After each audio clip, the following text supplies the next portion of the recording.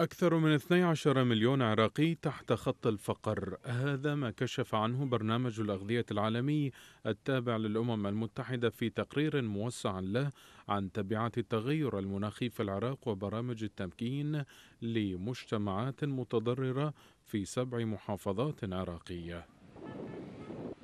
برنامج المنظمة الأممية بين أن معدل البطالة بين شباب العراق بلغ 35% في حين ازدادت معدلات الفقر منذ العام 2018 في ظل توقعات بارتفاع تعداد نفوس العراق إلى الضعف بحلول العام 2050 برنامج الأغذية العالمي ذكر أن معدلات البطالة بقيت عالية خصوصا بين شرائح النازحين والعائدين والشباب والأشخاص ذوي الإعاقات مشيرا إلى أن الافتقار إلى مقومات المعيشة هو السبب الرئيس لكثير من مشكلات حماية وتعليم الأطفال وهي أحد أسباب تفاقم ظاهرة عمالة الطفولة.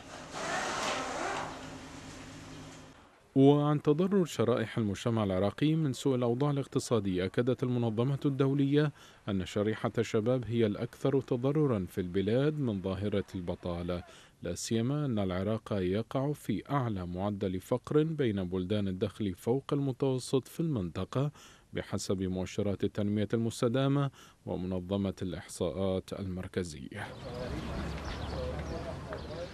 وفيما يتعلق بتبعات التغير المناخي وأثرها على العائلات التي تقطن مناطق زراعية يذكر التقرير الأممي أن سكان المحافظات العراقية من الشمال إلى الجنوب معرضون لنقص في الأمن الغذائي بسبب شح المياه واتساع رقعة التصحر وهو ما أوجد ظاهرة نزوح جماعي تفاقمت آثارها يوما بعد آخر في ظل أبعاد الفقر المتعددة التي ما تزال تعيق معدل النمو وتشكل تحديا كبيرا لكثير من العراقيين الذين باتوا ضحايا نظام سياسي فاسد وسوء إدارة أثبتت فشلها في إدارة البلاد أوقات الأزمات.